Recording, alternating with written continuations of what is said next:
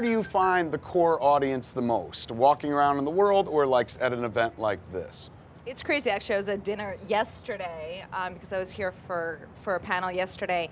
And there was, I literally saw Ragnar Lothbrok, completely a guy dressed up exactly like Travis and had his long braid. He built this armor with chainmail. It took him over a year. He's been doing it. Wow. And he came up to me, he, he just stopped breathing. And he's like, oh my gosh, you're Lagertha.